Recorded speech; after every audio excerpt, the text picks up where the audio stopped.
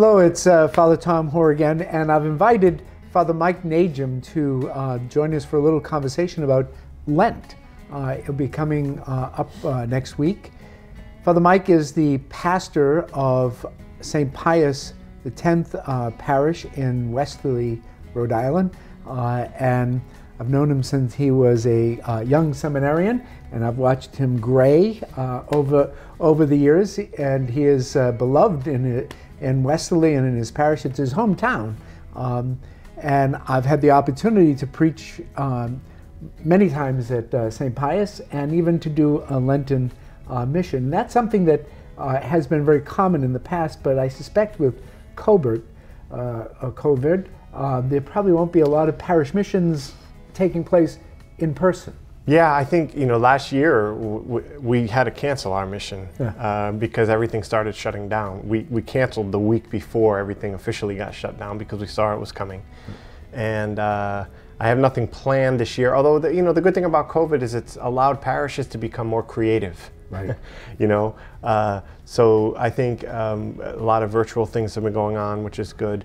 But I think you know there's nothing wrong for um, parishes even to do their own mission. I mean, the, the, the, tradition is always to have somebody from the outside come in. Right. But I think this is a good opportunity for parishes to maybe become a little more creative. And to um, help people to really come to a, a deeper understanding of what uh, it means to celebrate Lent as a parish. You know, prayer, fasting, and almsgiving. And, and they can take many different forms. Right. Um, yeah, I think th- th- that's a great point about that. That there should be a, a, communal aspect to Lent. I think oftentimes uh, we think of Lent as as a, just an individual journey, you know, where I'm I'm doing my own sacrifices and, and penances and almsgivings. But I think uh, for parishes to be able to say, why not for par- a great thing for parishes to do a communal penance or something? You know, what? Mm-hmm. How about uh, one parish deciding that you know this will be our sacrifice for the season of Lent. Uh, obviously, we support, you know, parishioners can support their parish, but why not consider a, a parish almsgiving project, you know, where you're supporting a particular, uh, what it could be anything. In the community. Like a nonprofit uh, uh, retreat center. Like a nonprofit retreat center, exactly.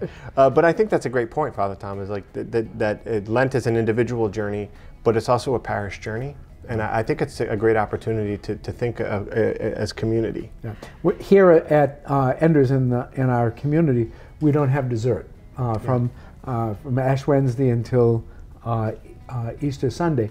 And, you know, sometimes people say, well, like, why? You know, because that's our community uh, sacrifice. Right. And, and I think that element is really, can be a powerful element to help bind the community together in that common journey of uh, spiritual renewal, um, of reconciliation, uh, of healing, mm-hmm. uh, and, and preparing us really to embrace uh, the, the story of the passion and resurrection of Christ. Yeah, and Lent, I think, and you just mentioned a key word about reconciliation, you know, and uh, there's the, the, um, the uh, act of um, not the act of contrition, but the penitential act at the beginning of the Mass. Um, I think, I don't know if it's in the new form. Uh, I know it was part of the older form where, where the priest said, You have come to reconcile us uh, to one another, to the Father and to one another. I'm paraphrasing. Right. But um, that when we are reconciled, it's not just about being reconciled to the Lord. Right. It's about being reconciled to one another and as God's family. I mean, that's what happens when we go to confession. I go to confession, I'm reconciled to God, but I'm also reconciled to the community. Right. And so I think uh, uh, Lent is a great time to reflect upon that, that whole idea of communal reconciliation. And I think I think especially like in our day and age, in our culture, in our country, where we've seen so much fraction and division, yeah. it's a great time to focus on that whole idea of community reconciliation. Yeah. And even um, uh, a community uh, penance as far as like on one night a week, asking everyone whether they're in the church or in their homes to, uh, to join in praying the Divine Mercy Chaplet. Yeah or the rosary or something where they know that they are praying with the whole uh, parish community. Right. And, and, and that's one of the things that we try to um, help people uh, develop is a, is a deeper understanding of uh, what prayer, fasting, and almsgiving can mean for us individually, but also for us as a community. We're, we have uh, a, a, program uh, this um, uh, Lent that we're going to be offering online.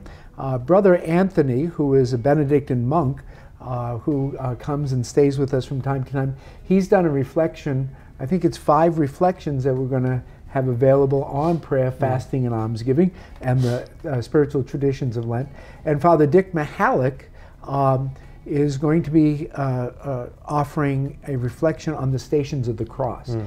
And our, the particular stations of the cross that are done here in our chapel, which were done through our Institute of Sacred Art. And they are uh, unique, they're gorgeous, and there's uh, a great deal of meaning uh, behind them. and the idea is to draw you into uh, the experience of walking with Christ right. uh, through uh, the Passion and through the season of Lent. And that will also be available online. But uh, Father Mike has um, uh, also taken to the airwaves, right? Yes. What, what, do you What do you offer? Yeah. So I. Um, we, we, our parish, St. Pius, uh, we've been last year, and this is our second year participating in dynamic parish, uh, parish program, which was launched by Dynamic Catholic.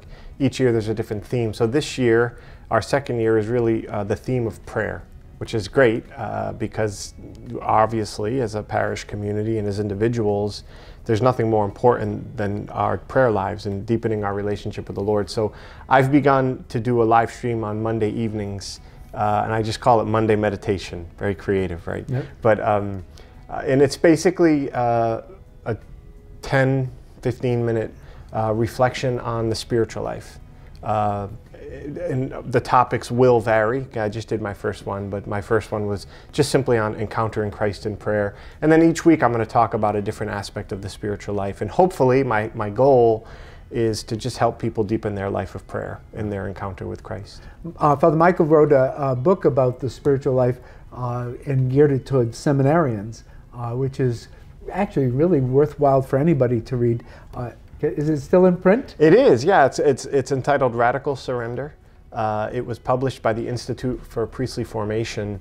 Uh, and as I said, it was written for seminarians, but uh, there are lo- there's lots of um, there's there's lots of content in there that are applicable to anybody right. that uh, you can, I, I, I, believe you can still get it on. I think I have, I, I, th- I have, I think I have uh, one review on Amazon, but it's five stars. so, was that your um, mother before she? I think it was my mom. Yeah, I yeah. think I coaxed my mom into doing it. No, but uh, obviously it's a very niche market. You know what I mean? So it's not going to be on Oprah's bestseller list or anything. No, but, but uh, uh, people are looking for good quality mm-hmm. spiritual mm-hmm. writings and and I think uh, it's worthwhile, even though you might not be a seminarian, it's worthwhile um, uh, picking you. it up and, and, reading it.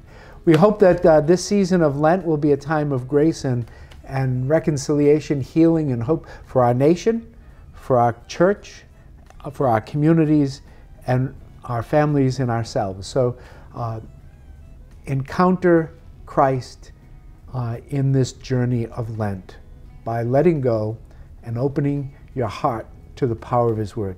God bless you, and we'll be talking to you real soon.